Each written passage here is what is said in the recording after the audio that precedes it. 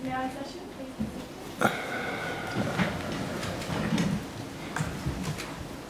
Please be The Commission pleases, we have one more witness to call in relation to the home loan part of this block of hearings. That witness is Mr William Ranken. Yes. Mr Ranken, would you come into the witness box, please? This box, please. Mr Ranken, would you prefer to take an oath or would you wish to make an affirmation? Uh, affirmation. So affirm the witness, please. Just repeat after me. I solemnly and sincerely I solemnly and sincerely declare and affirm declare and affirm that the evidence I shall give that the evidence I shall give will be the truth, will be the truth, the whole truth, the whole truth, and nothing but the truth. and nothing but the truth. Do sit down, Mr Ranken. Thank you. Yes, Dr Collins. Yes, thank you, Commissioner. Um, would you state your full name? Uh, William Andrew Ranken. And is your business address 833 Collins Street, Docklands? Yes, it is. Uh, and are you the lead of the homeowners team at the ANZ Banking Group? Yes, I am. Um, Mr Ranken, have you received a summons to appear before the Commission? Yes, I have. And do you have that with you in the witness box? Yes, I do. Would you hand that to the uh, assistant? Your Honour, I tender the summons. Yes, that will be uh, Exhibit 1.85, summons to Mr Ranken. And Mr Ranken, have you made a witness statement for the purpose of these Royal Commission hearings? Yes, I have. And do you have a copy of that with you in the witness statement? Yes, I do. Uh, and uh, your, uh, Commissioner, I tender the witness. Sta- oh, sorry, before I do that, um, is there a correction, Mr. Ranken, to be made to the witness statement on page 11 in paragraph 59, Roman B, sorry, little b, Roman 6? Uh, yes, there is. And is the correction to delete the last two words of that subparagraph and superannuation? Yes, it is. With that correction, Mr. Ranken, are the contents of your statement true and correct? Yes, they are.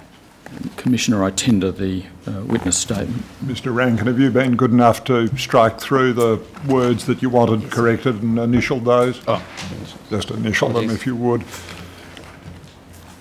Thank you very much. Exhibit 1.86, witness statement of Mr uh, William Andrew Ranken. No questions. Yes, yes, Ms Hall. Mr Ranken, you're responsible for ANZ's home loan portfolio, is that right? yes, it is. Uh, and you estimate that that portfolio is currently estimated as being a $265 billion portfolio? Approximately, yes. Yes. Now, uh, could I ask you to turn to the first exhibit to your witness statement, Mr Ranken, uh, which is ANZ 800 314 0001. Right. And could we have the first and second pages of this document displayed on the screen, please? This is an extract of ANZ's 2017 full year results. Yes, it is. And we see from that that in FY17, ANZ had approximately 1.008 million home loan accounts. That's correct. Uh, and this represents an approximately 15.7% share of the home loan market. Uh, that's correct. And the average loan size was $262,000. Yes.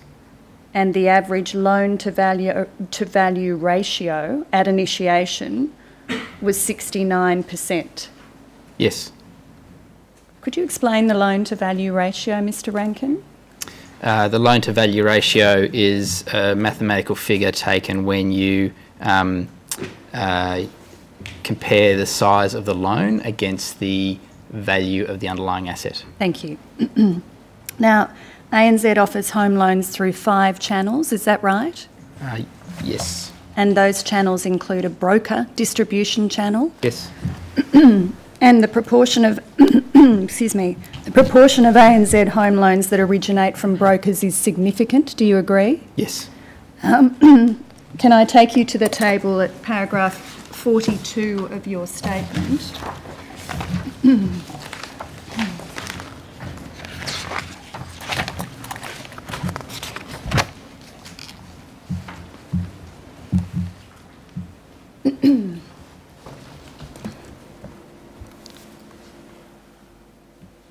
If we could have that page and the following page displayed on the screen, please. You include tables in paragraphs 42 and 43 of your witness statement.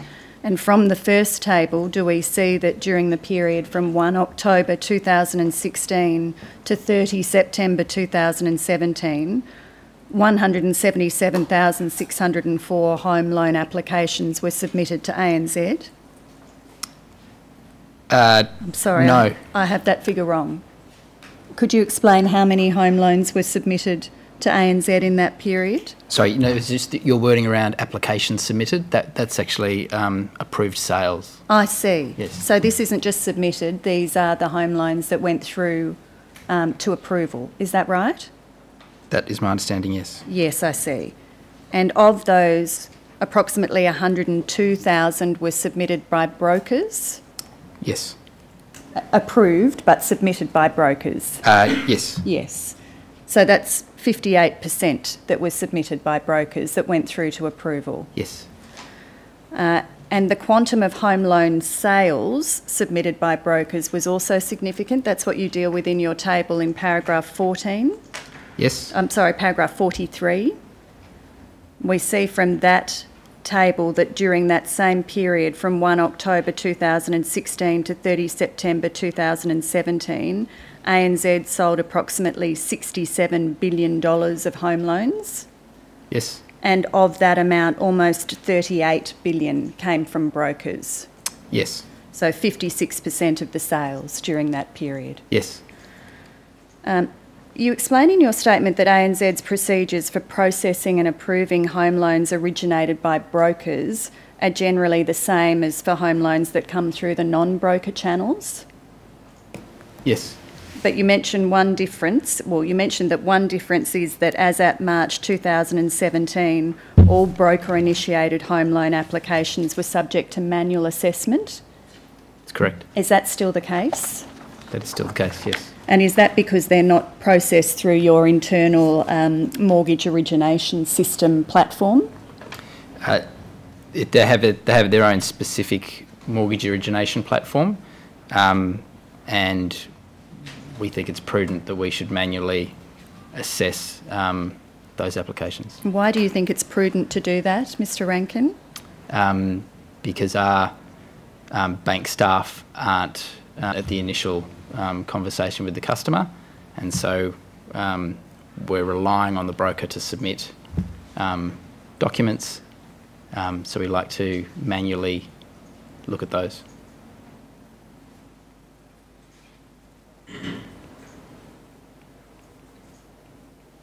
Is the process for uh, broker originated home loans still partially automated? Uh, yes, I- In what way? What part of it is automated? um, the uh, the assessment of the the, um, the automated part is where we look for the credit score by um, getting a query to the credit prov- uh, the um, uh, it's Veda or um, Equifax, the um, bureaus, credit bureaus. Yes, so that portion is automated. Any other That portion, automated? Um, the, the system would automate the sensitisation of the actual payments. Um, so some of those mathematical calculations would be automated as well. Yes. Yes. I see.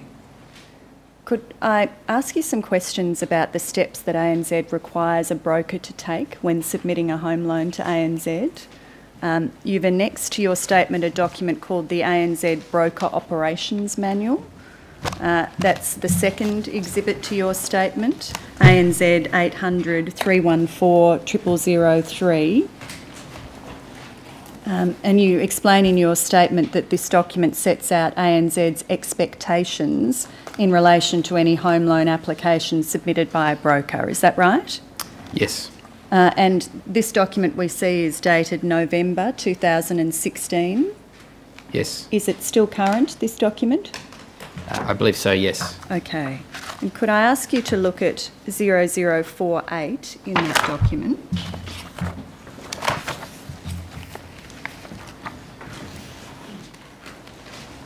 We see there under the heading lending criteria, 5.1 income verification. Do you see that, Mr Ranken? Yes. ANZ will only lend to borrowers who can demonstrate an ability to repay with sufficient comfort and over the life of the loan. Yes. And could you explain what is meant by with sufficient comfort in this setting? Uh, we look at um, a calculation around unencumbered monthly income. Um, and if that unencumbered monthly income, when we assess um, the repayment requirements on a fully sensitised basis, um, if that is positive, then that's deemed sufficient comfort. Yes, I see. Before submitting a home loan application, a broker is required to conduct a loan interview with the potential borrower, is that right? Yes, it is. And are there requirements about how that loan interview is to be conducted? Yes, there are. Could I ask you to look at uh, 0073 in this document?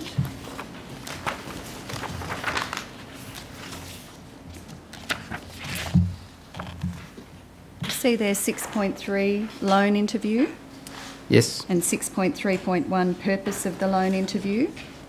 Yes. And I'd ask you to look at 6.3.2 during the loan interview. The loan interview must be conducted in person by the originator who has been accredited by uh, ANZ and not by any other person. As an approved originator, you are required to be satisfied as to the customer's ability to service their commitments, i.e., get to know your customer, and to ensure that the product offered meets the customer's requirements and objectives. So we see from that that the broker has to be satisfied as to the customer's ability to service their commitments. Yes. And does ANZ have an independent obligation to satisfy itself as to the customer's ability to service their commitments? Uh, yes, it is. Yes, we do. Yes, and you're aware that that's a legal obligation that arises under the National Credit Act? Yes. Uh, and can ANZ discharge that obligation by relying on the broker's assessment of whether the customer has the ability to service the commitments? I'm not aware that we can, no. So you accept that you have an independent uh, obligation uh, to assess whether the customer has the ability to service their commitments yourself. Yes. Thank you. And as at March 2017, a broker was required to submit three forms of documents to ANZ, is that right? Uh, specifically through, I'm not sure. Uh, if, if it assists, I'll direct you to paragraph 48 of your statement.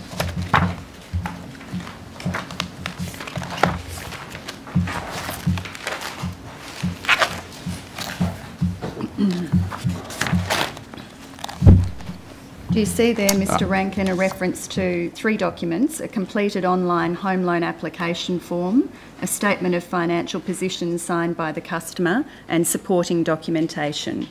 Yeah, so when you said three, support. Yeah, so when you said three, supporting documentation could be many. I was wondering why Oh, I'm sorry. So that, that could be a bundle of Yes, documents, yes. yes. So three, well, uh, two individual Two individuals documents and then- and one bundle of documents. Yes. Which is the supporting documentation. Yes. And is that still the case, that brokers are required to submit that documentation to ANZ? yes, And the first two of those documents, the online home loan application form and the statement of financial position, they're completed by the broker with information that's to be collected by the broker from the customer. that's correct. Uh, and the statement of financial position, the second document, is to be signed by both the broker and the customer. That's correct. All right. Now, uh, could we move then to the steps that ANZ takes, having received these, uh, the two documents and the third set of documents from the broker? The documents are entered into ANZ's internal system and the assessment process commences, is that right? Uh, the details are entered into, already entered into with the online home loan application form by the broker. Yes. They're then passed through to ANZ systems via various gateways and Yes. things. You deal with this in paragraph 52 of your statement. So the information's received into uh, what you've described as MOS, which is ANZ's mortgage origination system. Yes. Uh, and then uh, the assessment process commences, which you explain involves a combination of automated functions and manual assessment by a member of the ANZ assessments team. That's correct. Is that still the case? That is still the case, yes. Yes. Now, the automated component of the process includes the steps you've described in paragraph 53 of your statement. Yes.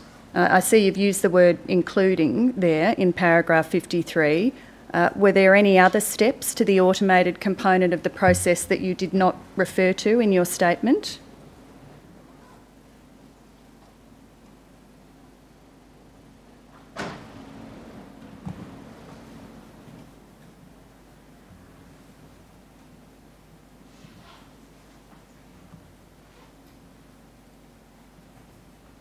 Uh, no, I think that's fairly comprehensive. There, I'd need to, there's one other adjustment to expenses, which is if a customer claims to be living at home rent free, that we would then um, insert a minimum board board amount.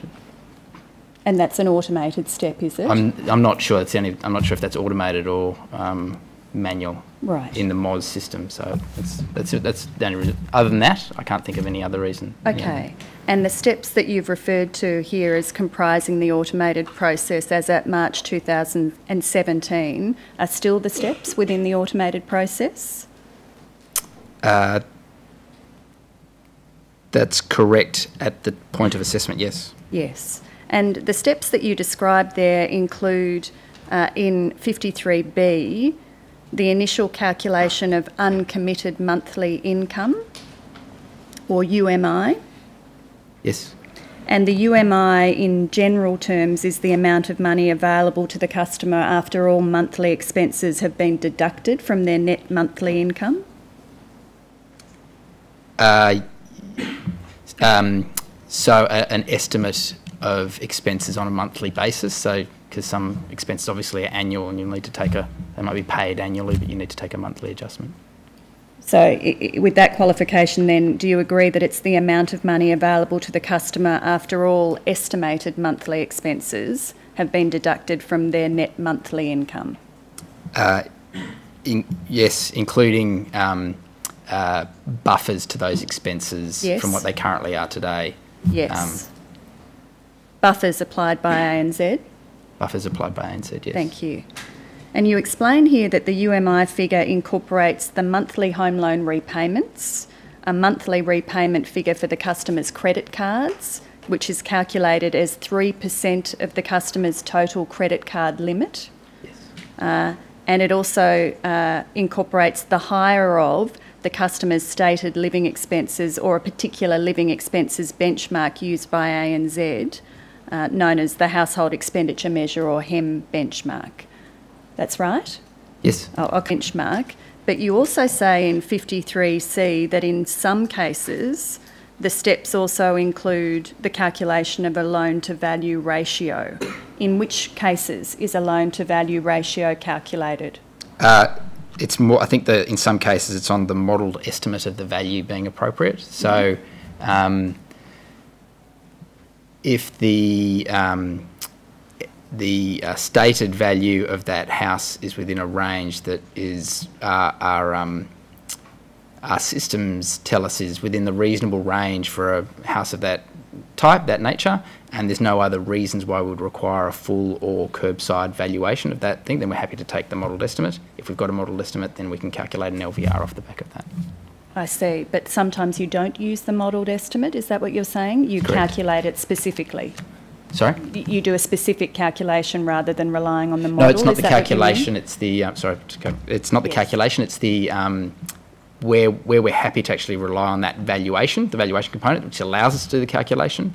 Um, sometimes, if the value that's given to us seems out of whack with values of the houses of that nature in that suburb, we'd say, sorry, we need a full valuation. We wouldn't do an LVR based on the estimate you've given us.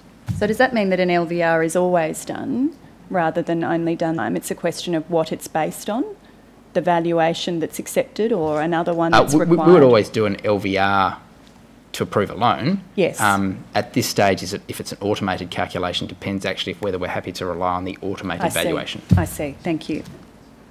You then deal in paragraph 54 with the key Before steps. we leave the calculation of the UMI, can I just make sure I understand 53B2 to the uh, uh, credit card uh, allowance? Assume you have a uh, an applicant for a mortgage who has a credit card limit of $5,000. You take to account uh, a repayment of 150 a month, do you? Uh, yeah, that that um, sensitisation of the credit card repayment is assuming um, the full limit is used on the facility. Uh, The customer's maxed out the credit card Yes. and you're assuming the customer is going to service that at 150 a month. Uh, that is at 1800 a year on a 5000 credit card debt. Is that right? Uh, that's right. It, it's calculated to assume they they pay it down within five years. Well, uh, it's exactly that I wanted to uh, focus on. On the numbers as I understand them, at least, uh, would 1800 a year pay down a 5000 credit card debt that's accruing interest? Uh, that's the calculation that the systems use. Um, yeah, that, I that's know my, that's that's my what the understanding. system does. What, I, what I'm trying to get my head round, and forgive my uh, probably deficient mathematical grasp of it, but it seemed to me that uh, if the customer was going to make any headway on that credit card debt, it was going to be uh, quite slow uh, headway on the debt. But am I right or wrong? Uh, I, I think five years is actually the time the time frame it would be paid down using that I see. ratio. Yeah. What's credit card interest rate at the moment on most of your cards? What's the rate? I actually, I actually, I'm not a, I don't know the credit card rates. There's a range. I think there's. You pay it off as soon as it comes in, like some others do. Absolutely. Ranken. Yes. Not everybody does. yeah. Sorry, Ms. Orr, do go on. No, Commissioner, I, I wanted to move to component of the assessment process, which you deal with in paragraph 54 of your statement. And again, you say that you've listed the key steps, which include the 11 steps listed in paragraph 14. Uh, are there any other steps? I'm sorry. Sorry. In, in paragraph 54. So I'm in paragraph 54. You say that the key steps of the manual component of the assessment process include A to K. So there are 11 key steps. Uh, yes. And are there any other steps in addition to those 11 that you've listed there? If there are, um, I, I couldn't definitely say there are no others. If there's uh, refer out rules that the system picks up in terms of the application, the assessor would be required to answer those refer out rules and satisfy themselves as to why the loan should keep going through. So I think there's a, um, they're, the, they're the key ones. So the, th that sort of step that you've described is on the margins, is it? That only happens in some cases, and these are the key steps that should occur in each instance of um, manual assessment. These are, yes, yes. Okay, and are these still the steps that ANZ takes in its manual component of the assessment process? Yes, they are. And one of the steps that you've referred to in 54C is a review of the application against the customer's signed statement of financial position to check if the customer's financial information has been correctly recorded by the broker in the application. You see that? Yes. Uh, and another is the verification of the customer's income. This is 54D, as stated in the signed statement of financial position using the documentation provided by the broker. Yes. Yes. Could I take you to your third exhibit, which is ANZ's, ANZ's mortgage credit requirement policy, ANZ 800 282 0001. Now, this document sets out ANZ's credit requirements in relation to home loans. Yes. And is it still current, Mr Ranken? Uh, I believe it, it is. Uh, there, actually, there might be some minor. I, I don't, I'd need to check that. We do um, update and review aspects to the requirements. I'm not sure. Okay. So ANZ employees are required to follow this policy? Uh, yes, they are. Yes. within so there's it's a it's a strict policy and Yes. then um, our assessors have a credit authority discretion and they can um, uh, make sort of overrides um, to that policy if um, it's within the discretion and it's deemed reasonable. Yes, I see. But in the absence of an override, this sets out the Yes. the credit requirements that are to be followed. Yes, it does. Okay. Could I ask you to look at 0070?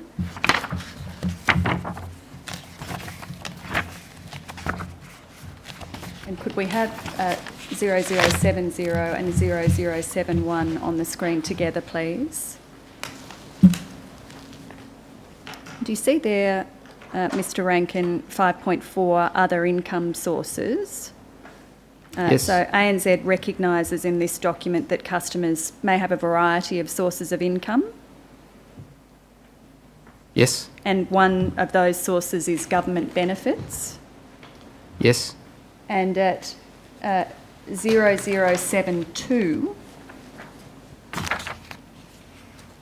we see the way this document deals with government benefits. Uh, down the bottom of the page, government income sources. Government benefits may be used in servicing calculations on a limited basis as they are designed to provide a very basic standard of living. Government benefits are split into three categories benefits that may comprise the applicant's total income, i.e., benefit can be the sole source of the applicant's income, government benefits that must comprise less than 50% of the applicant's total income and can be accepted on a case by case basis, i.e., the applicant must have other income aside from government benefits, we'll see over the page. And three, the third form is government benefits that are unacceptable. You see that? yes, Uh, so we see from the table on this page that a pension is a government benefit that is permitted by ANZ to comprise the customer's total income. that is correct. Yes. And this form of income is to be verified by a letter from Centrelink within 60 days of the date on the signed statement of position that confirms ongoing payments or a three month transaction history from the customer's bank account showing consistent payments over that three month period. That's correct. Yes, so those are ANZ's requirements in relation to uh, verification of income that comes as a government pension. Correct. Thank you. Now, could I uh, return to your statement at 54, back into the steps that you've listed of the manual process? Now, there is no reference in any of the 11 steps that you've identified in paragraph 54 to verifying the customer's expenses. Is that right? Uh, 54.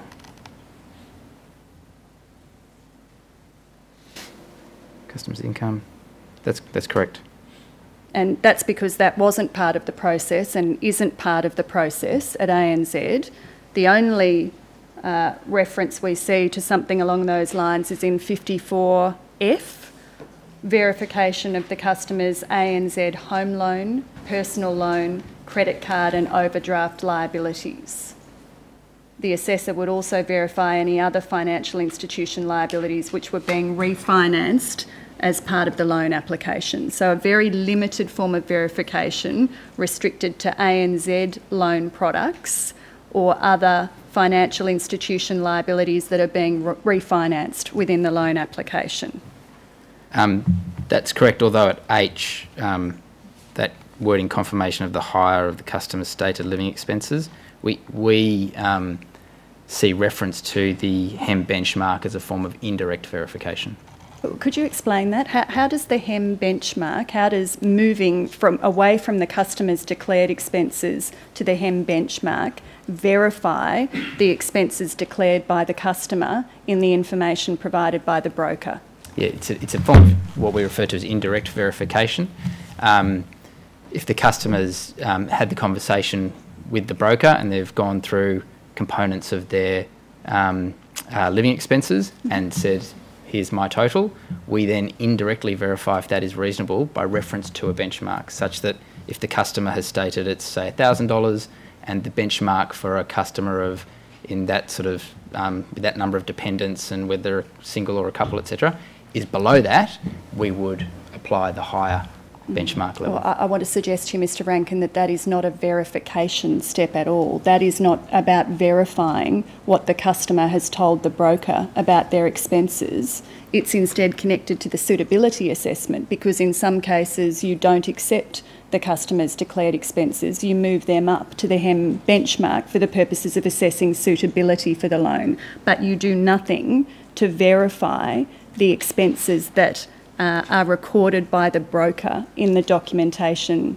uh, provided to ANZ. um, other than to ensure that the um, statement as to what those living expenses are is also signed by the customer. We don't verify Yes. beyond that. So all that the ANZ employee does is check that the expenses recorded in the application are the same as those recorded in the statement of financial position.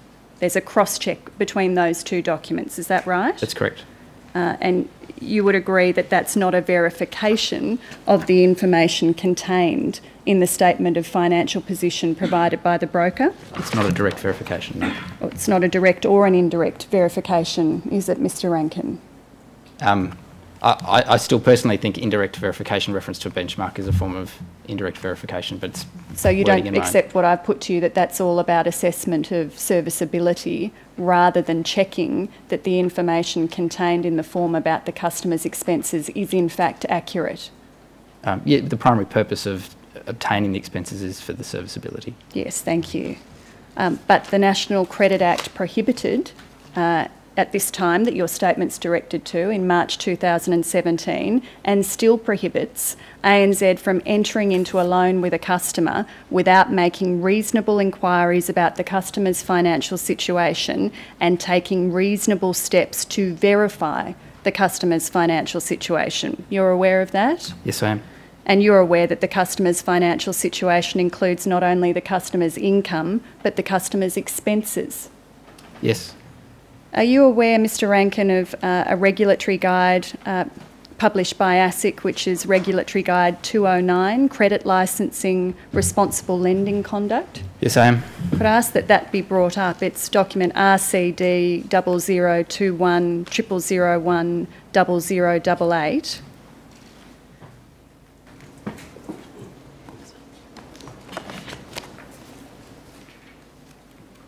And could I take you first to page 16 of this document, Mr Ranken?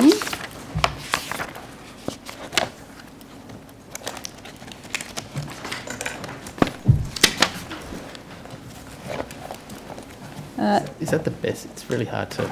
I I think we can, we can move in Oh, on, on particular parts of it. Uh, It's 209.32 that I wanted to ask you questions about. You, you said you were familiar with this document? Uh, yes. Yes, so you understand that this is the guidance provided by ASIC to assist entities with complying with their responsible lending obligations under the National Credit Act? Yes, it's about their, about their expectations of. um, Yes. yes. Yes, and do you accept that these are reasonable expectations in this document? Do you disagree with any of them? Um, there's aspects of it that I, I um, personally um, still wonder how it would be possible to operationalise to, to the letter that they've got there. And yeah. what, what are they, Mr Ranken? Uh, it's uh, it's their concept of scalability, um, specifically where they say every. Um, I think the words they use in the document is um, every situation must be considered on its merits, and then your procedures must be appropriate to that. And what, what do you disagree with about that? Oh, I, don't, I don't disagree. It's just that I find I'm just putting an operational hat on, i it makes it very complex to design processes that you know make sure you adhere to that in every single circumstance. There's so many variations on people's circumstances. Do you accept that you need to adhe- adhere to it in every single circumstance involving every single customer? Uh, we need to take reasonable steps to Yes. absolutely reasonable steps. Absolutely. Yes. So uh, I just want to understand the scalability problem. Is it because ANZ has so many customers that it's difficult to have systems in place that permit that? It's, it's not the number, it's the, it's the variations in, in individual customer circumstances and just the, you know, the subjective nature of reasonable, you know, that type of thing. Right. Well, if any of these parts that I refer you to, Mr Ranken, are parts that you um, uh, take issue with, you'll tell me as we go. Ah, yes. Yes. So can we start with two? Just before we leave that, can I just come back to the scalability issue that you think presents operational difficulties? Depends whether you uh, treat scalability as something requiring a degree of variation over a curve, or whether you take the top end of the uh, curve, doesn't it, Mr Ranken? There's no difficulty if you took the top end of the curve, that is the worst case scenario, and said, right, regardless, we're going to apply this in the worst, uh, the standards that would apply to the worst possible case, the hardest possible case, we're going to apply those across the board. There'd be no difficulty about that, would there? Uh, you, you could do that. The um, reality of that um, situation would be for simple cases, we would be having very onerous um, processes and procedures. The complexity, the cost, and the time of implementing that for every application would be significant. There's a trade-off, isn't there? Yeah, there's a customer benefit trade-off, yes. Or at least the bank regards there as being a trade-off. Is that right? Uh, um, regards it, and um, yeah, we have experience where that would be the case. Uh, Let me just make plain what lies behind the question, because at least an available point of view may be, I don't say it is, an available point of view may be that the trade-off is between administrative convenience and obeying the law. Now, that's a very awkward trade-off, if that's the way it's seen, isn't it, Mr Ranken? Uh, I I think ANZ takes its obligations, legal, regulatory, and others, very, very seriously. We're very um, focused on complying with those. Um, we want to do that in a reasonable level, and I guess it's down to that subject nature of the word reasonable. Yes. Uh, just because you've raised this part of the document, uh, Mr Ranken, I'll show you uh, page 12, which deals with scalability of inquiries and verification obligations, uh, to confirm that that is the part of the document that you're referring to.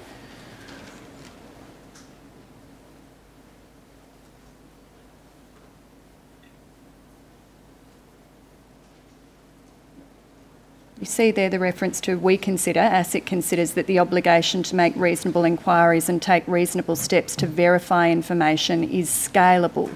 That is, what you need to do to meet these obligations in relation to a particular consumer will vary depending on the circumstances. Yes. Yes, now is that the part of the document that you were referring to? Yes. Yes. All right. Now, could I take you back to uh, page 16? And 209.32. And you see there that ASIC tells us that reasonable inquiries about a consumer's financial situation will generally include, in B, the extent of the consumer's fixed expenses, such as rent, repayment of existing debts, existing debts, child support, and recurring expenses such as insurance. And in 209.33 below, which we'll need to expand, depending on the circumstances of the particular the kind of credit contract or consumer lease they may acquire, reasonable inquiries could also include the consumer's other expenditure that may be discretionary, such as entertainment, takeaway food, alcohol, tobacco, and gambling. Now, do you agree that these are things that uh, ANZ should be verifying uh, when it is verifying the financial situation of the consumer in accordance with its statutory obligation under the National Credit Act. Our, our processes on those categories are to have a conversation with the customer, understand what their stated expenses are, and then to the extent to which we, to the extent to which we need to consider whether they're at a we reference to the benchmark.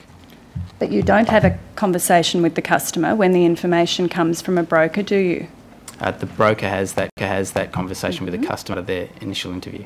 And as we've established, you don't do to verify what the broker tells you about the customer's expenses. Expenses. You don't do anything to check that that information accurately represents the customer's expenses. Their general living expenses, no.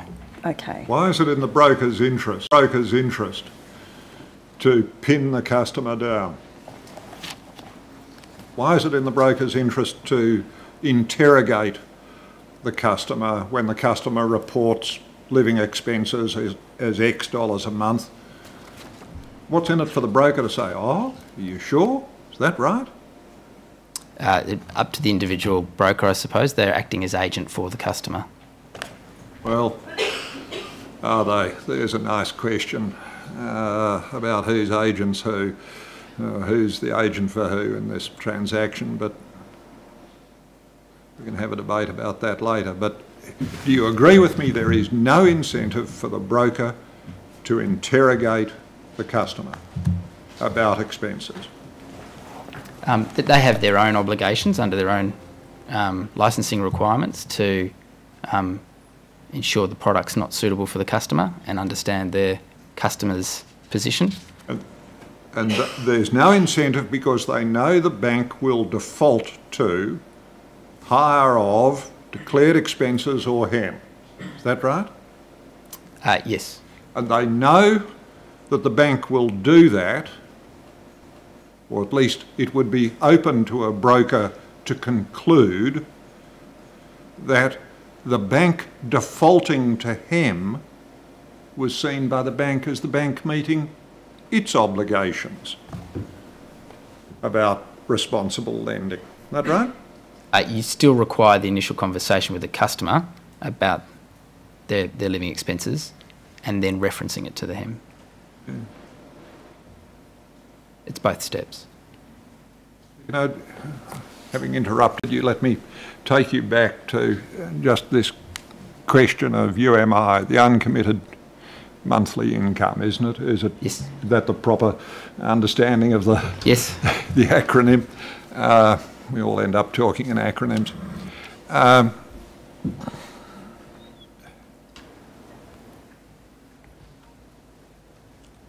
you said in calculating UMI, the bank would uh, sometimes apply buffers to Correct. some of the numbers that go into that calculation. yes, it's true. Now, uh, if I am treading on matters of commercial confidence, you need to speak up. Do you understand me? If I am about to tread into matters where you need to be a little circumspect, Okay. uh, you should speak up. Then we'll decide whether you can be circumspect.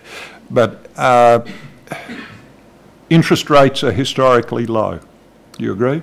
I do. Uh, if you take account of repayments at today's level, uh, you are taking account of repayments uh, geared to historically low interest rates, is that right? Yes, Does the bank uh, ordinarily apply a buffer to uh, repayment levels? Does it uh, apply a buffer that uh, would have regard to uh, what would be uh, the uh, historical uh, general level of interest rates? uh, it's a reference to uh, the yeah long-term average through the cycle is the, is the phrase they use. Is of the order of about seven plus percent, I think. Seven point two five, correct. 725, is it? Yes. Uh, so, so the buffer though is we the, there's two parts to the buffer. That's the floor. There's also uh, an actual buffer to the um, uh, effective rate the customer's paying. So if the customer's paying four percent, we have a buffer of two point two five percent to that, which actually gets you only to six point two five. Hence, we apply a floor of seven point two five. If interest rates higher, six percent, we would apply a buffer of 2.25 to 6, which would be at 8.25. So we would Yes. assess it at the 8.25. Yes. Go on, Ms Orr. Could I ask that you look at page 20 of this document, Mr Ranken, and clause 209.46 on that page? You see there that ASIC tells ANZ and others that you are obliged to take reasonable steps to verify a consumer's financial situation. Generally, this will require some positive steps to verify the information provided by the consumer. Uh, do you agree with that? Yes. And, do you agree that ANZ does not take positive steps to verify the customer's expenses? Uh, no, not all expenses.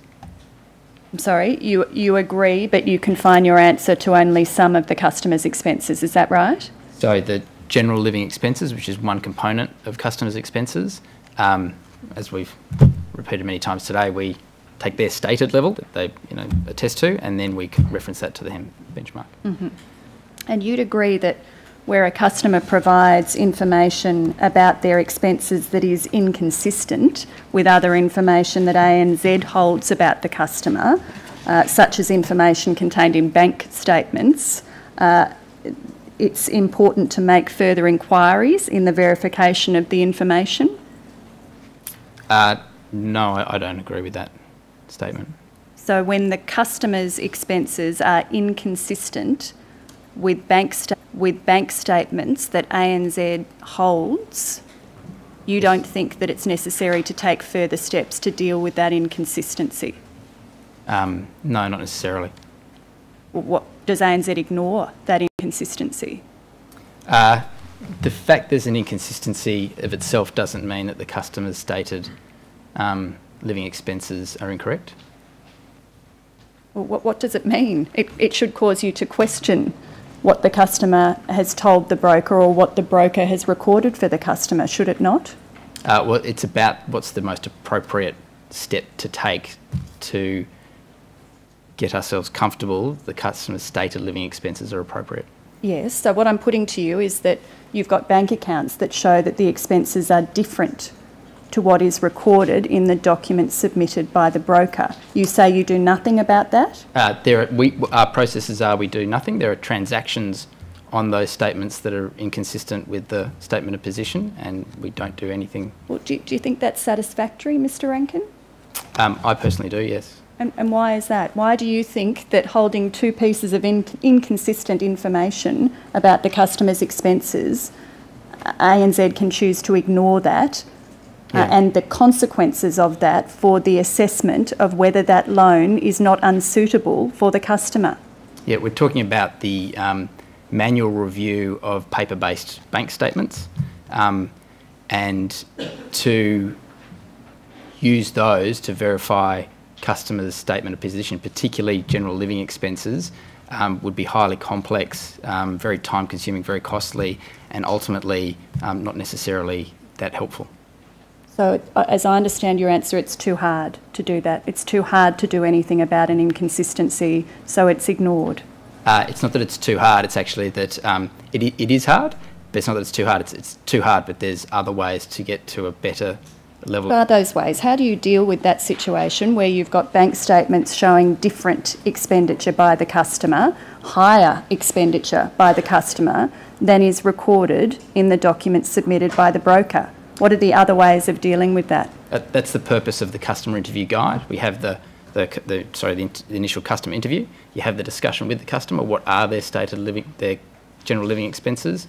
Um, discuss that with them in a variety of categories to get a um, thorough discussion, and then reference the total of that amount to a, a independently verified, statistically re- relevant benchmark. Mm, So I, I just want to be very clear, make sure I understand this. And you're saying that as a result of that interview, information is put in a document provided by the broker, and if that information is contradictory or inconsistent with other information that ANZ holds, you would other information that ANZ holds and proceed with what you've been told by the broker. And whatever consequences arise for your serviceability assessment uh, of the loan for the customer, ANZ's not concerned about that? Sorry, I just there was um, something. I'm sorry, could- I put that was far too long a question. Yeah, sorry.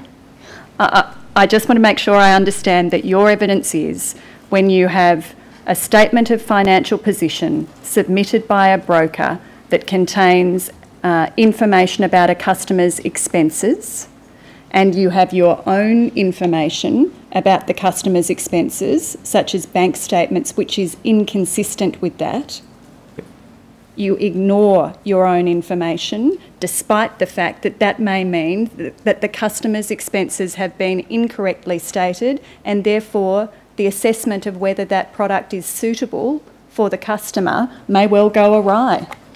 There's two adjustments I'd probably make to your statement. The, Thank the first is um, we're using the customer's stated expenses on Yes. their statement of position, which is signed by the customer, Yes. as being true and correct.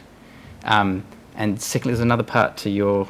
I've lost that train of thought. Well, another. I, I was asking you about the consequences of this for the Oh, assessment of suitability of the product. So there's another one when you talked about um, actually having uh, bank statements or, or within our possession. If they were ANZ um, accounts, Yes. and we have those in a digital form, Yes. Um, at the moment, we're trialling the use of exactly that, looking at um, how do we categorise expenses, general living expenses, to be able to pre-populate a statement of position for the customer to allow us to have a more rich conversation. You would still need, so we wouldn't be ignoring them in that case, but at the same point, you'd still be that would be the basis of your conversation rather than a blank sheet of paper. If the customer said, actually, no, these aren't the items, this is my general living expenses, and put that to the statement of position, signed it, submitted it to us, we wouldn't do anything further. In over half of the cases, it's not your conversation, is it? It's the broker's conversation.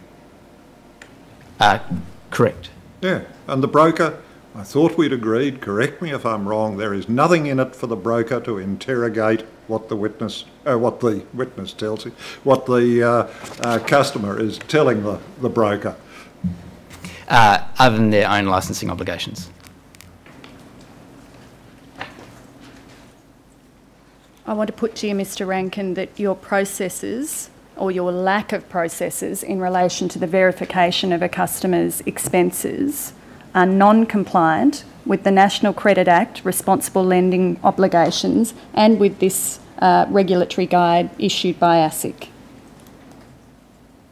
I, I, I disagree. I, I think um, in a in a practical example, if you have um, a bank statement has a series of transactions on it, you have to identify which of those transactions, to the extent of what's more appropriate, manual review of um, bank statements versus taking a customer's stated level expenses and comparing that to a independently provided statistical benchmark. If we're interrogating a customer's bank statements, we're identifying individual transactions. We probably need to go back 12 months as some expenses are paid annually, not monthly. Um, we then need to ask customers, you know, what the nature of that transaction was individually, if it was above or below their what we deemed their reasonable level. It would be a very highly complex um, complex situation. You'd end up then documenting various transactions individually as from the customer as to why they were or were not were not ongoing, if they're one-off, etc., discretionary nature, discretionary nature items that they propose not to continue with. You'd have all that documentation. They then sign that rationale, and you'd, you're back to where we are any, at the moment, which is relying on a signed statement from the customer in any case. Well, given how much you rely on that signed statement, Mr Ranken, why do you bother asking the broker to submit the documentation? Because I think what we've just heard is it's put to one side, it's not analysed by ANZ, certainly not analysed from an expenses perspective. Why do you bother asking the broker to provide it Uh, we asked to provide the documentation for verification of income of income? and um, to the extent there's uh, other financial liabilities that we're refinancing as part of the loan. Yes, I see. Um, I want to come back to the HEM now, Mr Ranken, because in your explanation of the uh, uh, steps involved in the automation process, one of them in 54H of your statement, which you've already referred to, is confirmation that the higher of the customer's stated living expenses or the income adjusted HEM benchmark had been included in the application. And would you agree, you may have heard evidence about this already, would you agree that the HEM is a conservative measure of expenditure rather than a typical or average figure, which means that many consumers will have higher expenses than HEM. Uh, and, and some consumers would have lower as well. But do you agree with my proposition to you, Mr Ranken, that it's not typical or average, it's conservative, and therefore many consumers would have higher expenses than HEM? Um, in terms of, it depends on the category of expenses within HEM. So um, there's three categories. So the HEM is based on an underlying housing survey done by the ABS. Um, the, the individual expenses in that are then categorised into three broad buckets: um, absolute basic, discretionary basic, Yes. and then discretionary. Yes. Um, the absolute basic expenses, um, the HEM that's currently used is based on the 50th percentile or the median average of that category. Yes. So it's not the average per se, it's the median. Um, so 50% of um, observations are above that number and 50% are below that number. With the discretionary basics, take the 25th percentile. So one in three Australians spend more than that on those discretionary basic cat- categories, um, and one in four Australians would spend less than that.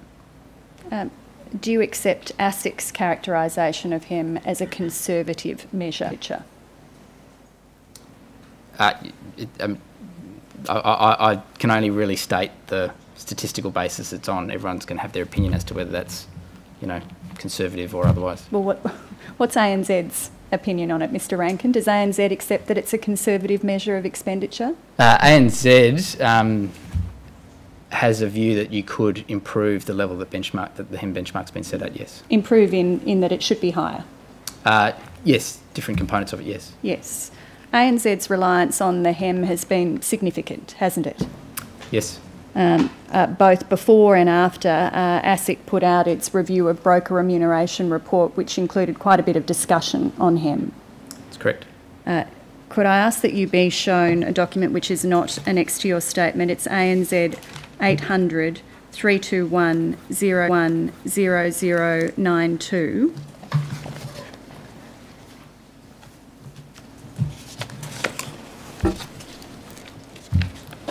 Now, uh, in April 2017, KPMG undertook a review of ANZ's home lending processes, Yes, and they did that at the request of APRA.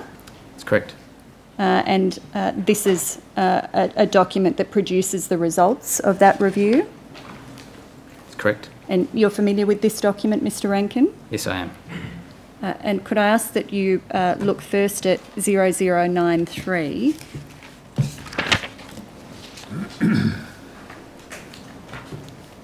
and we see there from the covering letter that the targeted review was a review of ANZ's policies, procedures, and controls to ensure that borrower financial information received and captured as part of the home loan underwriting process was complete and accurate in ANZ systems. yes. Now, could you turn to uh, 0095?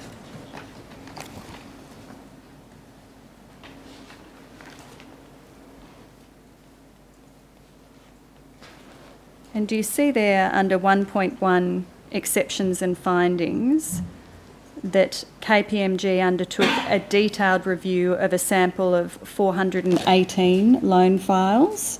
And for those 418 files, KPMG made 138 separate observations.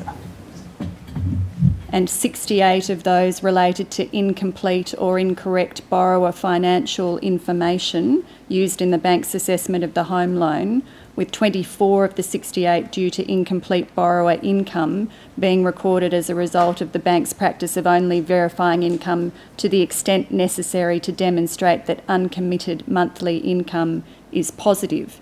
In 10 of the 68 cases, there would have been negative UMI had the correct financial information been used. Uh, now, could I ask you to move to uh, 0096?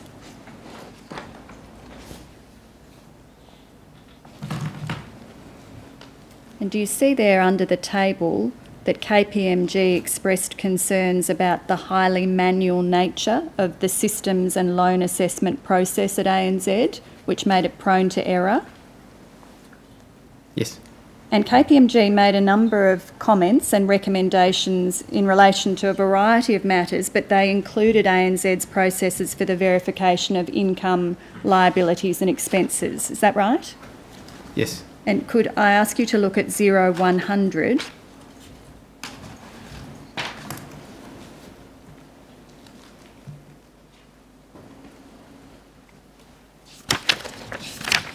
Do you see there, under the heading expenses in the table, ANZ policy,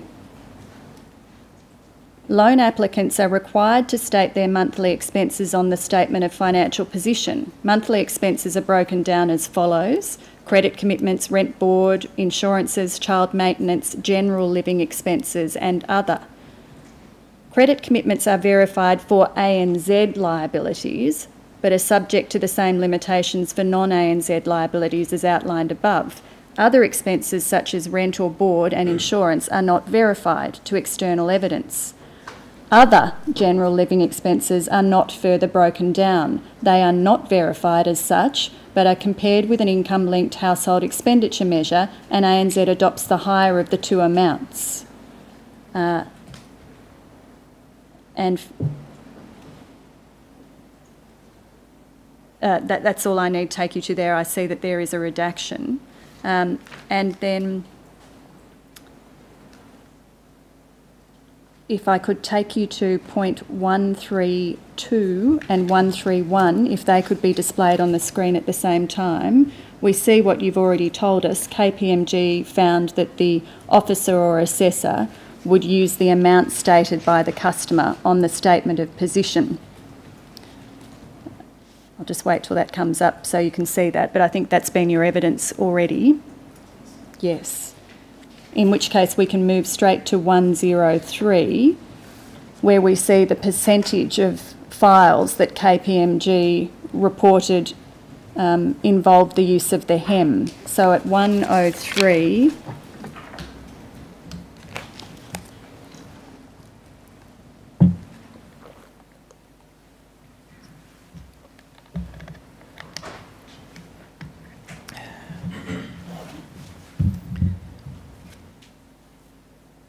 see there under verification of expenses, description of finding, there is an inherent difficulty in verifying the completeness of a customer's living expenses.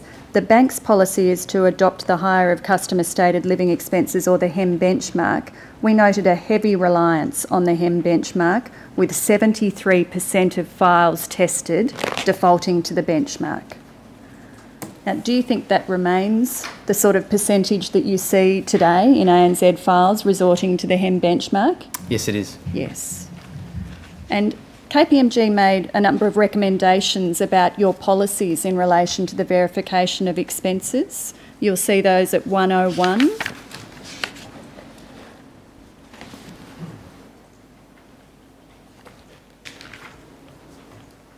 Do you see under ANZ specific, first dot point, ANZ could ask customers to provide a more detailed breakdown of expenses. This would provide ANZ with greater insight and assist customers in ensuring stated expenses are complete and accurate. ANZ could ask customers to provide documentary evidence of their major expenses. Uh, and then, third dot point, in order to address the risk that customers fail to disclose major items of expenditure, ANZ could ask customers to supply bank statements for their main transaction accounts as well as credit card statements. Final dot point, bank statements could also be reviewed for general account conduct to identify whether there are any obvious inconsistencies between a customer's stated expenses and transaction history or any general indicators of financial stress.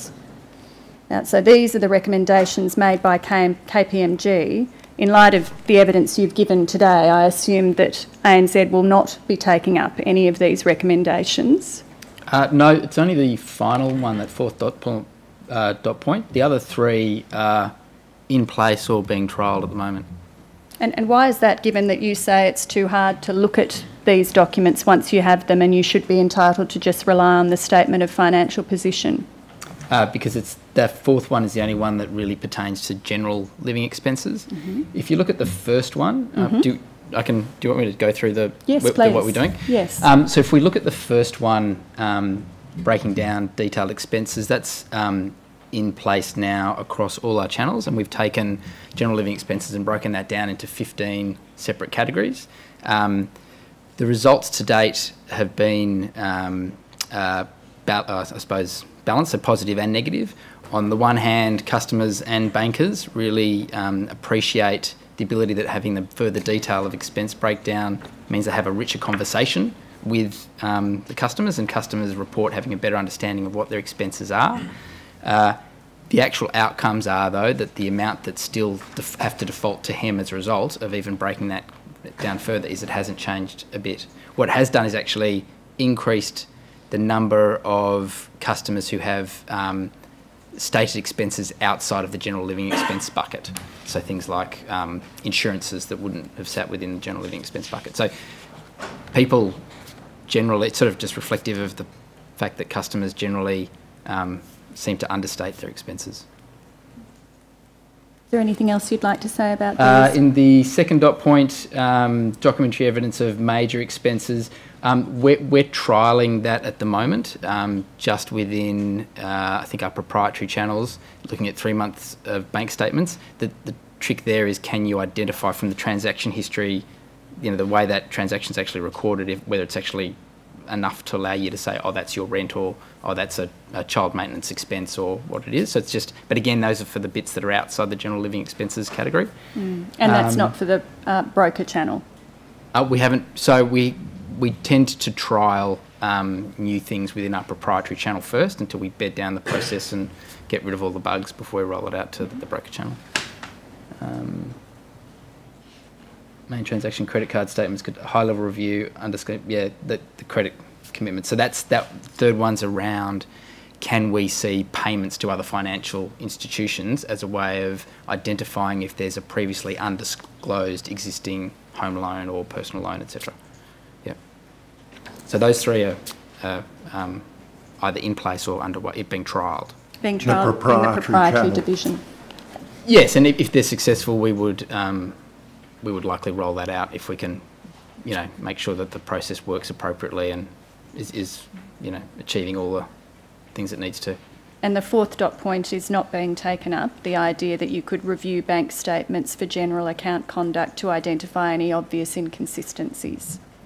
Uh, s- and, and that's the one where, um, as I previously stated, that the complexity, the time, the cost for the um, benefit, it, that, that we don't think that that's a material uplift to having the detailed, you know, in combination with the first one, having the detailed conversation with the customer, them attesting to that and signing that's the correct statement of position, and us referencing that to an independent statistical benchmark. So is the answer yes, it's not being taken up at the moment? Uh, it's not being taken up. There Thank is there, there's one exception to that, I suppose, is is that, um, and in this report we talk to some strategic um, solutions we're looking at, where um, ultimately a lot of this hangs on the quality of that conversation you're having with the customer about their state of living expenses.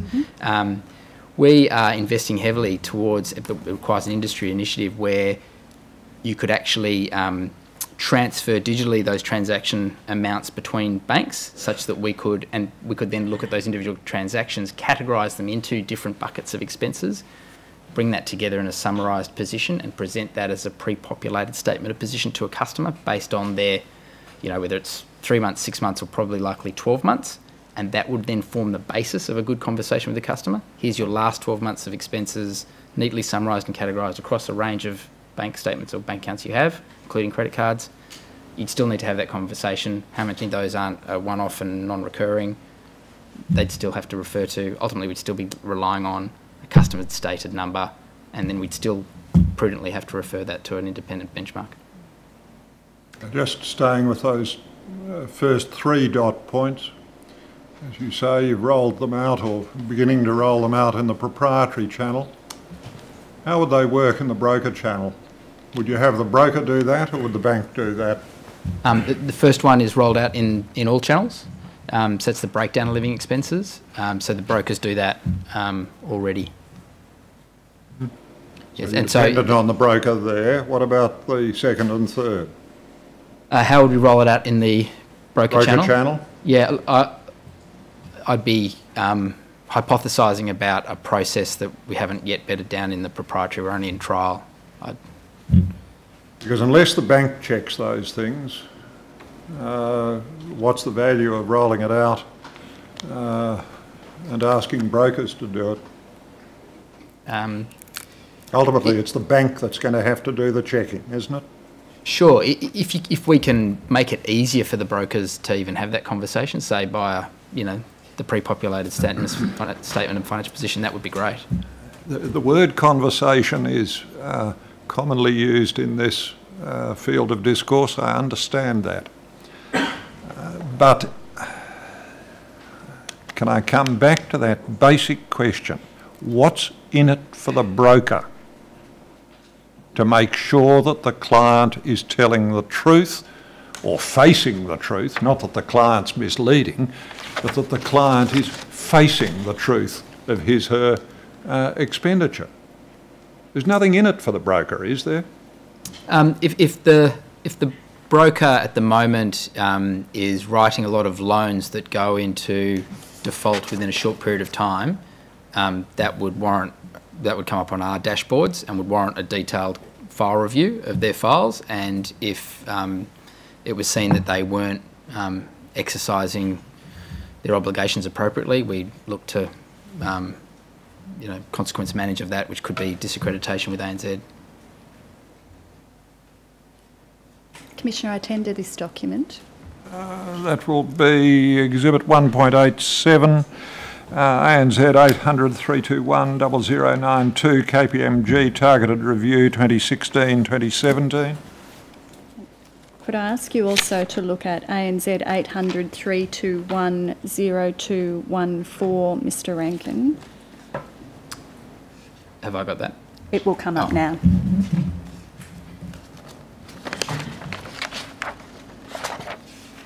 This is a letter dated 18 September 2017 from ANZ uh, to APRA dealing with the findings of the KPMG review. Are you familiar with that document? Yes, I am. I tender that document, Commissioner. Exhibit 1.88, ANZ 800 321 0124, letter ANZ to uh, Horton APRA. I want to return to deal with one final limb of the automated, I'm sorry, the manual component of the process that you've described in your statement, Mr Ranken, and that's referred to in 54J of your statement. One of the steps is the recalculation of the customer's UMI, the uncommitted monthly income, based on the financial information determined through the steps above. Yes. Yes, so having done all of those steps, the uncommitted monthly income is revisited, is that right? Uh, yes, it is. Yes, and could I ask you to go back to your third exhibit, ANZ 800 282 0001. This is the mortgage credit requirements. Uh, and I'll ask that you be shown 0048 in that document.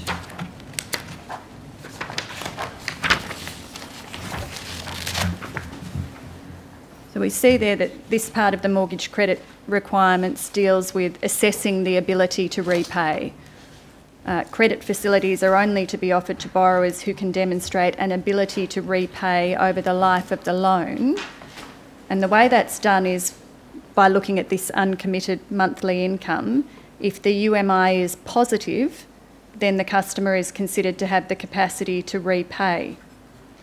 And the UMI, as we've discussed, is determined by deducting from net income personal living expenses, credit commitments, and any other regular fixed commitments the borrower may have. This is ANZ's policy about assessing the ability to repay. Yes. And are you familiar, Mr Ranken, with section 131 of the National Credit Act and the obligation it contains to assess a credit contract as unsuitable for a customer if a customer could only comply with their financial obligations under the contract with substantial hardship? Yes.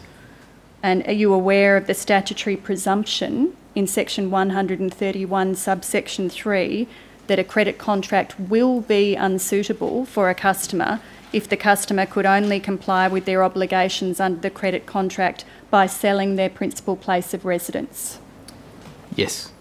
And ANZ's assumption that a customer has the capacity to repay based only on whether the UMI is positive, I want to put to you is rather too broad brush an approach to deal with the responsible lending obligations that I've just directed you to. In, in what way? Well, how does this take into account substantial hardship to the customer? There is a positive figure at the end of the day. We don't know what that positive figure is. It might be small, but there is a positive amount, and therefore ANZ assesses that there is an ability to repay. Where in that does ANZ assess whether that leaves the uh, customer nonetheless in a position of substantial hardship to meet their obligations under the contract? Yeah, so it looks at um, that calculation of UMI. It looks at firstly the items of income, to the extent that any of those items of income are seasonal or um, potentially have a level of volatility in them. There's buffers applied to those levels of income, so we reduce those amounts. So we're sensitising the income level. Um, then we look at the major expense items and then general living expenses. We take the higher of what the customer says. So if a customer says, "These are my living expenses," those are my income. That's my income level. We've sensitised down the income. We've then sensitised the um, existing um, any existing credit limit, uh, you know, obligations they have uh, for other credit contracts, such as if they've got existing home loans or personal loans or credit cards. We then put it uh, buffers above what they're currently paying on those to ensure that those obligations. Plus, we sensitise the repayments for the credit contract being assessed for at the higher of the you know the floor of 7.25 or a buffer of 2.25 on the customer's effective rate, um, and then we take their general expenses and compare that to the benchmark. So it's a sensitised calculation. calculation. those sensitivities factored into it, um, you don't accept that it's too blunt an approach to just ensure that there is some figure left, some positive figure, some positive figure left as the UMI at the end of this. Uh, no, because the reality is within that calculation, there'd be um, large, well, you know, there'd, there'd be more than positive um, actual balances there. All right, Mr Ranken, um, I want to ask you about the evidence of Mr Robert Regan. Uh, you heard, I hope, the evidence of Mr Regan on Yes, Friday afternoon, uh, and you've read the witness statement of Mr Regan. Yes, I have. uh, and the bundle of documents that Mr Regan provided uh, to his broker and which were then provided on to ANZ are annexed to your witness statement, is that right? Uh, yes, they are. Although, um, if I recall, in his witness statement, he talks about utility bills that were provided, but we've not seen those. I see. So perhaps with the exception of the utility Uh, bills. There was two points there: utility bills and something else, but that I remember. So what's contained in your exhibit WAR7 are the documents that ANZ got from the broker, from Mr Regan's broker, is that right? Uh, that's correct. And one of those documents was a letter from Centrelink dated the 4th of February 2016. Uh, yes. Now, I think you've also, uh, I'm sorry, I'll just find the reference so that can be pulled up 3076. for you. 3076, thank you, Mr Ranken. Now, you uh, gave, you uh, gave evidence earlier this morning that ANZ's policies in relation to government benefits, uh, such as an age pension, which is what we see here in Mr Ranken's document. Regan. Sorry, I'm sorry, Mr That's- Regan's document, I'm sorry. I do it myself. Um, you told us this morning that your internal policies for the verification of that income required a letter from Centrelink within 60 days of the signed statement of position confirming ongoing payments or a transactional history in a bank account. That's correct. Uh, but this Centrelink letter provided by the broker used by Mr Regan uh, doesn't meet your requirements, does it? Because it's dated the 4th of February 2016. Correct. So ANZ did not receive documentation that allowed it to comply with its own policies for the verification of Mr Regan's income. Uh, no, that's not correct. That's why the bank statements are omitted.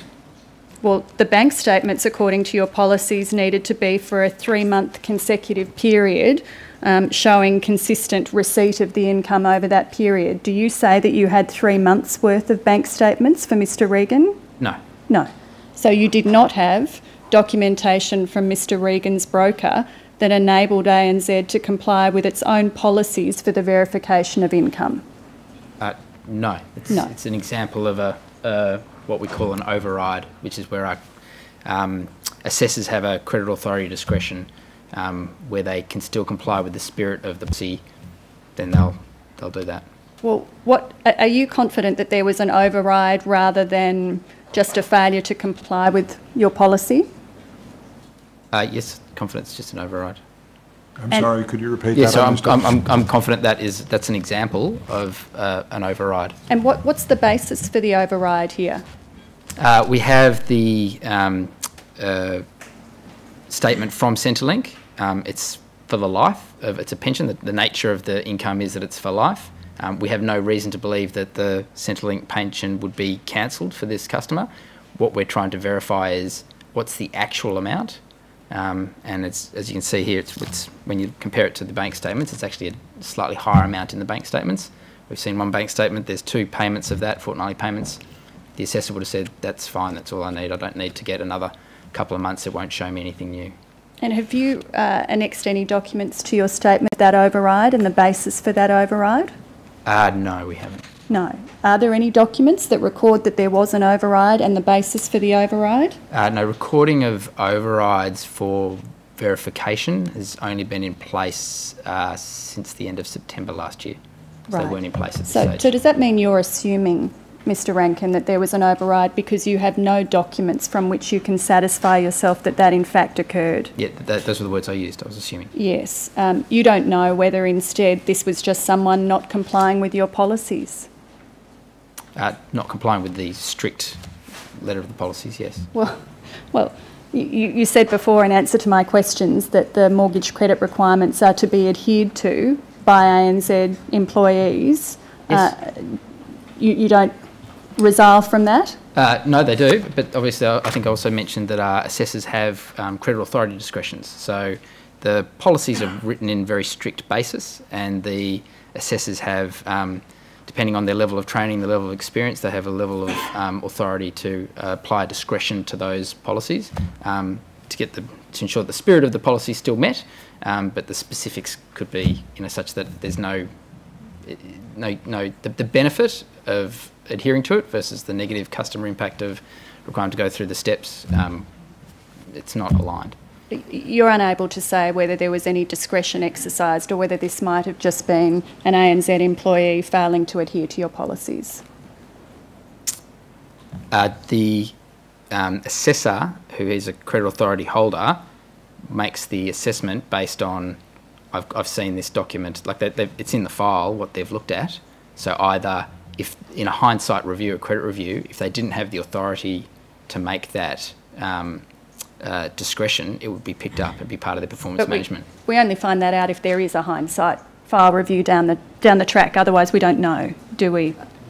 No, but our, our assessors are very paranoid about hindsight reviews. Yes, they take them very seriously. I see. It's also the case for Mr Regan, is it not, Mr Ranken, that the statement of financial position that was provided to ANZ by the broker misstated Mr Regan's income? Do you agree? Uh, his income His income. is it material. It's a materially misstated, or is it? It's just a. It's a dollar, isn't it? Are you aware that there was a loan review conducted on uh, Mr Regan's file on the 15th of February this year? Uh, yes, I saw that document. Yes, can I ask that that be brought up? That's ANZ 800 141 3268.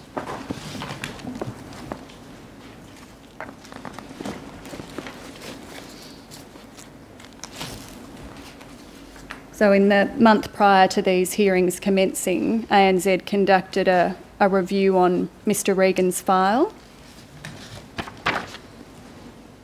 Yes. Yes. Uh, and could I ask that you look at uh, 3269 in that document? And we see there under analysis, uh, third paragraph, combined income, combined income confirmed equals 2,383 net per month. Signed SP, statement of position. Signed statement of position declared income 2,663, the lower utilised for servicing. So that disjunct didn't raise any flags in ANZ systems? I'm not aware, I, I, I don't understand where the 2383 comes from. I've been trying myself to try and understand how you get from the documents that, um, that both the uh, superannuation statement and the Centrelink statement and the items coming through in the bank statements for his income, how they align to the 2383. I, I, But that was the income confirmed by ANZ, 2383. Uh, on, on review, Yes, yeah, on actually in the assessment system at the time of assessment, it was 2662. yes. But do you say that, it would, I'm trying to understand, sorry, when do you say this disjunct was identified? When do you say the $2,383 per month was used in I- ANZ's processes? Uh, all I'm saying is I, I also don't understand when that's used in the processes. I don't I see. understand that figure, how it was derived. I see. I'd like to. Yeah, hope the ANZ employee who completed the loan review understood, Mr Ranken. Me too. Yes, have you discussed it with her? Her name is on the document, Miss No. Margaret Delahunty. No, I haven't. No, you haven't. I'll tender this document, Commissioner. will be Exhibit uh, 1.89, document ANZ 800 141 3268, loan review, Regan, 15 February 18. Now, could I ask you some questions about the documents that were provided to ANZ um, by Mr Regan's broker, which are Exhibit 7 to your statement? They include the statement of um, financial position, which is uh, 800 141, uh, ANZ 800 141 3020.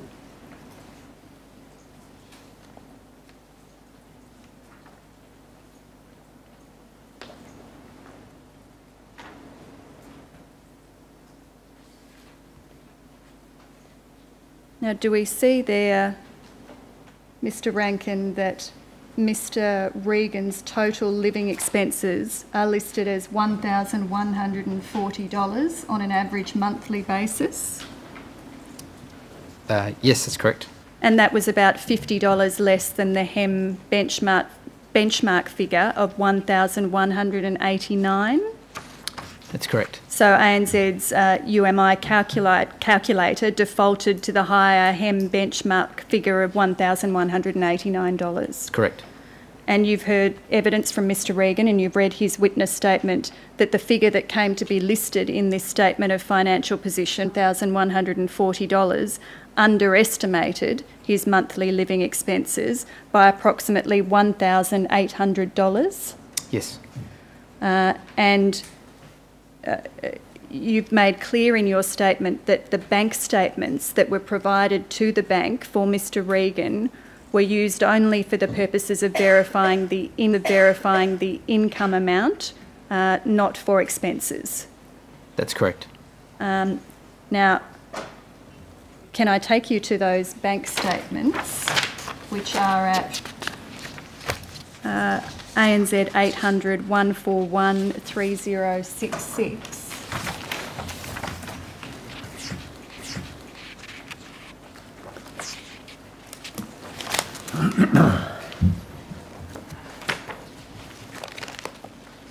Uh, now,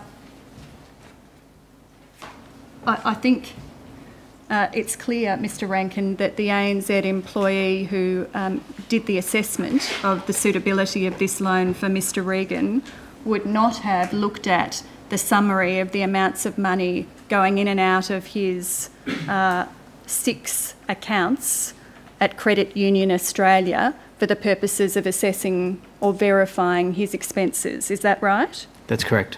So the ANZ employee would have paid no regard uh, to the fact that Mr Regan's Everyday 55 Plus account was approximately $4,000 up at the end of this month, but the Platinum Plus account was about $5,000 down, and the eSaver Reward account was about $15,000 down.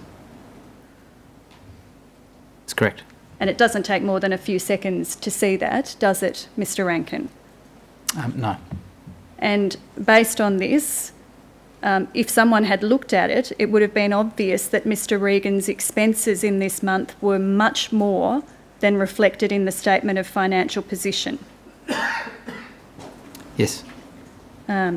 But despite ANZ's obligations under the National Credit Act to make reasonable inquiries into Mr Regan's financial position uh, and the short period of time it would have taken to see that there was something wrong with the expenses listed on the document, um, ANZ ignored this bank statement for anything other than verification of income.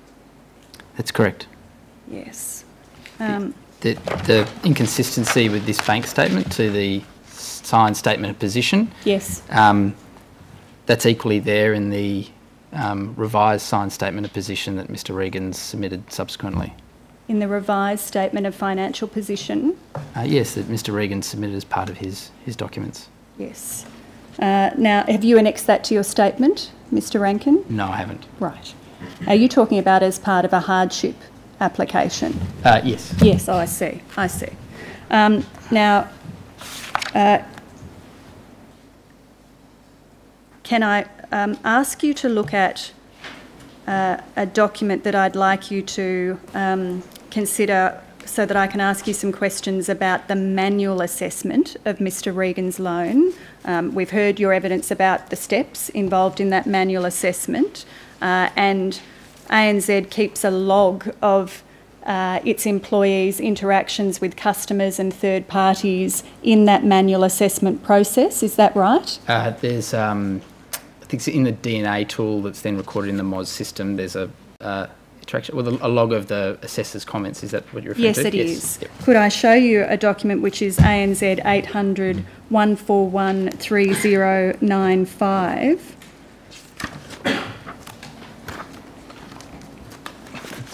Is this the log of the assessor's comments, Mr Ranken? Um, that's my understanding. Yes. And can I take you to 3103 in this doc, in this document?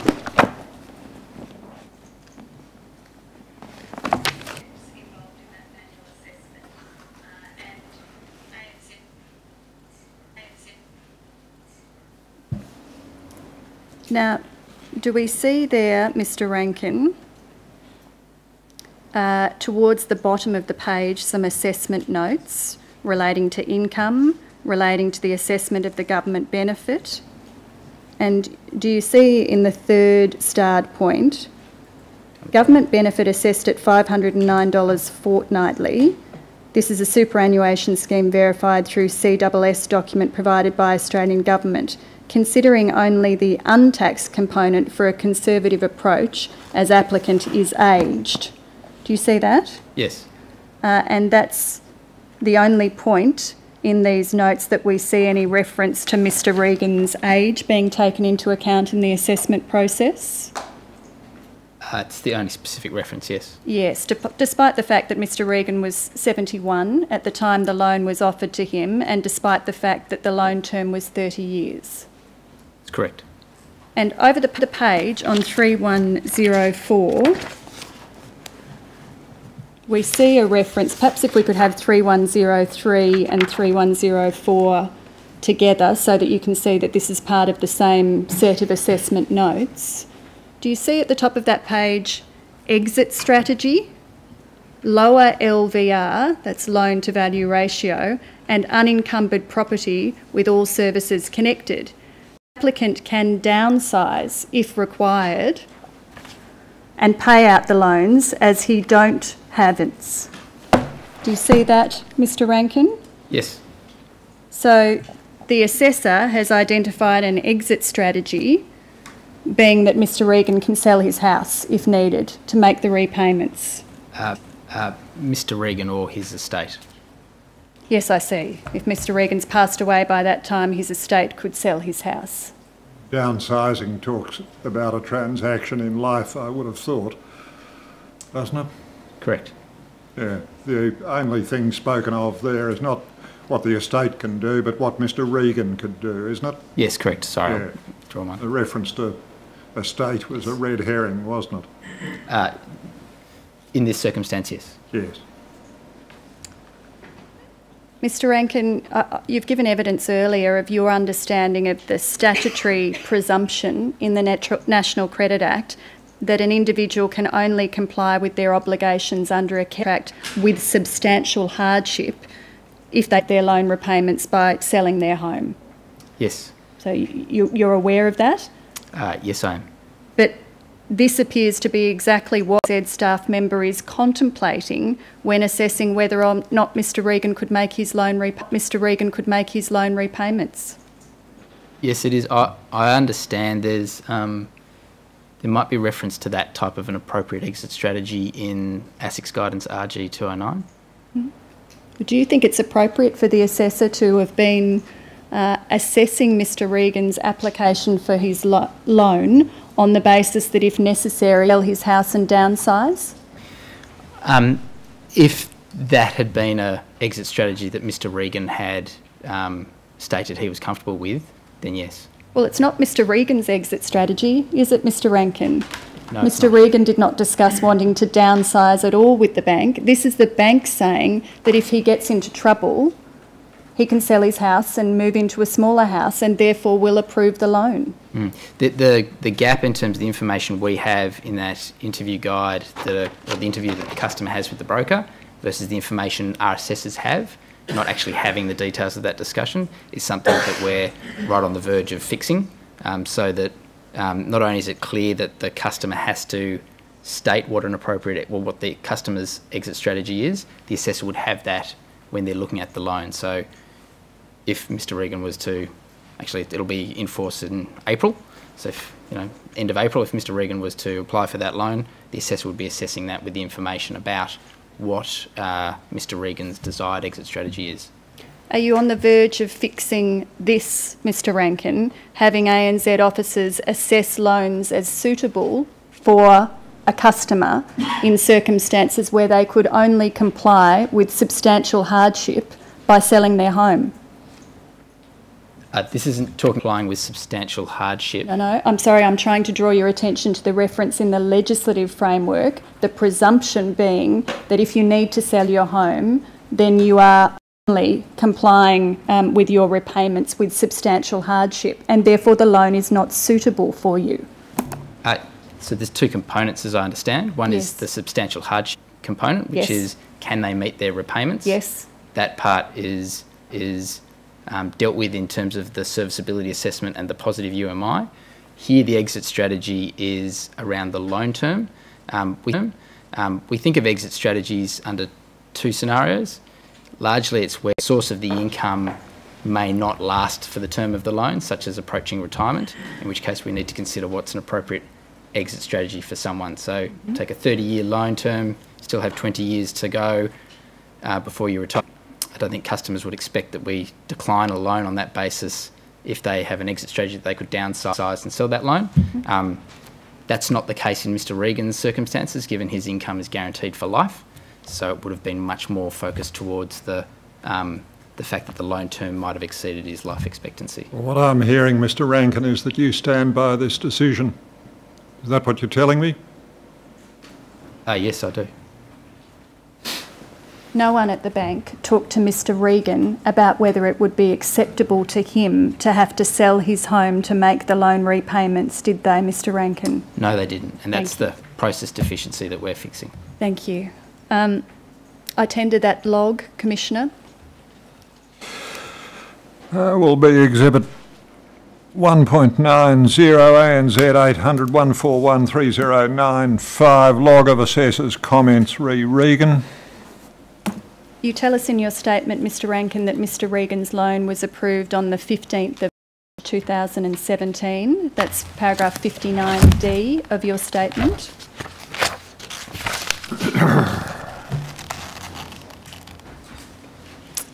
Uh, formally approved on the 15th, yes. And it was the 10th of May 2017 when Mr Regan first made contact with ANZ requesting hardship assistance, requesting that action be taken in respect of the loan. That's correct. Uh, and on the 11th of May, uh, ANZ gave Mr Regan a form, a hardship application form to fill out. That's correct. and on the 7th of June, that form was completed over the phone, completed over the phone uh, with Mr Regan. Is that right? Uh, yes, And you recognise in your statement that that application was completed by your staff member incorrectly? it's correct. It's, it's correct. It was incorrect. Uh, and you state that if it was completed correctly, it would have shown then and there that Mr Regan's revised statement of financial position had negative UMI, That's correct. uh, which means that he had no capacity to make the loan repayments. Uh, not that he had no capacity, that he would, um, uh, there might be hardship involved, um, uh, or additionally would need to adjust other items of expense. Well, doesn't negative UMI mean that there's nothing left to payments Uh, no, because that's still sensitised within the UMI? uh, within the UMI. So, what should ordinarily happen if a hardship uh, team member um, assesses that someone now has negative UMI? Generally, hardship um, is appropriate for where there's been a change in circumstances for the borrower, um, and that's of a short-term nature. Um, in which case, there's certain um, arrangements ANZ comes to with that customer to allow them to get through that difficult period until they can um, get back on their feet per se. So whether it's um, uh, family members sick, they have to do reduced hours, or indeed lose their jobs, etc. Um, their arrangements can go into the customer until they either find employment, etc., and they're back um, to where they were before.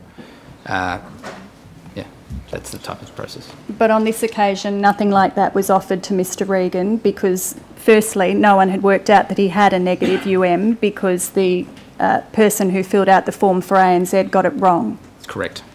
Uh, and he was therefore contacted in June, on the 20th of June last year, and told that his application for hardship assistance had been declined on the basis that he could maintain his current scheduled payments without needing any variation.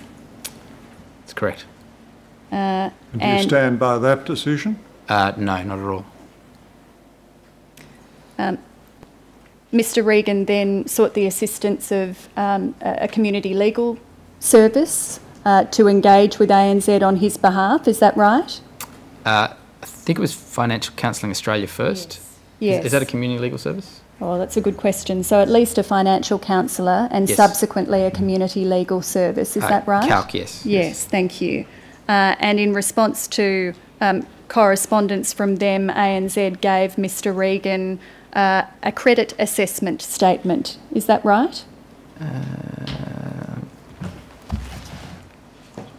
Sorry, Uh, Calc, Calc gave. No, I'm sorry. ANZ gave Mr Regan's representatives a document called a credit assessment statement, which you've annexed to your Oh, yes, sorry, yes, statement. yes. It's WAR 18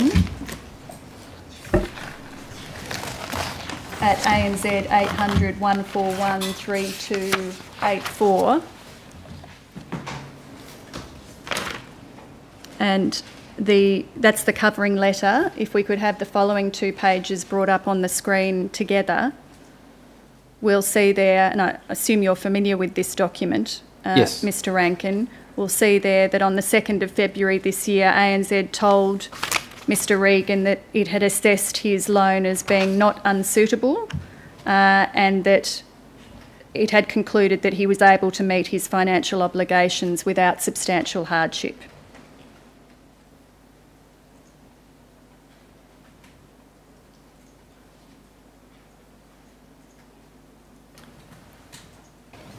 Yeah, it's, it's, it's, my understanding is that, that that's referencing at the point in time that it was approved. Yes, I see. Yes, so yes. this is this is a document that ANZ is required to provide under the National Credit Act, is it not? If a consumer requests a document explaining the assessment that's been undertaken as to whether the loan is suitable for them or not, they're entitled to receive one. And this was a request by Mr Regan's representatives for such a document, and it was provided. Yep. Yes, and it was provided in February of this year. Yep. Uh, Now, ANZ was provided with a copy of Mr Regan's statement to this commission on the 8th of March this year. Do I have- Do I have that? Uh, Mr Regan's statement is dated 8 March. It's in evidence Oh, and it, sorry, it can yes, be shown. Uh, do you accept that ANZ received a copy of that statement Yes, from sorry, the Royal did. Sorry, Commission? thought you were in the. I'm sorry to the- have confused That's you. okay. I thought you were in the um, train of events. Yes. Yes, so I I am in the chain of events. So having provided this credit assessment statement to Mr Regan's representatives on the 2nd of February this year, on the 8th of March this year, uh, ANZ was told by the Royal Commission that Mr Regan would be giving evidence and provided with a copy of Mr Regan's statement. Yes. And on the 9th of March this year, uh, the day after receiving Mr Regan's uh, witness statement, Mr Scott Clark from ANZ uh, notified Mr Regan's representatives that ANZ would provide a three-month moratorium on his repayments. Is that right? Uh, yes. I can have that document brought up to assist you, Oh, I Mr Ranken. Take your word for it. I've, I've seen a document of that nature. Yeah. Yes, for the record, that's RCD 0014 0002 0001. So that was the day after ANZ received the statement. And then on the 15th of March 2018, the day before Mr Regan gave evidence, ANZ provided RCD 0014 0002 0002 a letter dated 15 March 2018 uh, to Mr Regan's representatives. Is that correct, Yes. Mr Ranken?